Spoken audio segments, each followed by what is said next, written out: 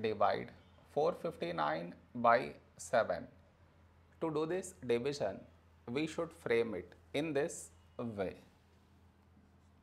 459 here,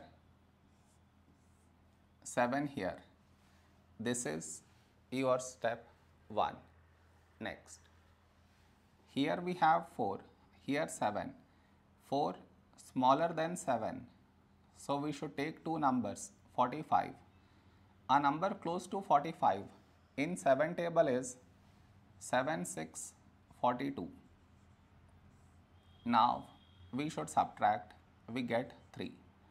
After this, bring down the beside number, so 9 down, so 39.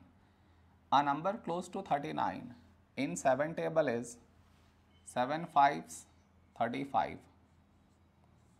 Now we subtract, we get 4. After this, no more numbers to bring it down. So what we do is we put dot take 0. So 40.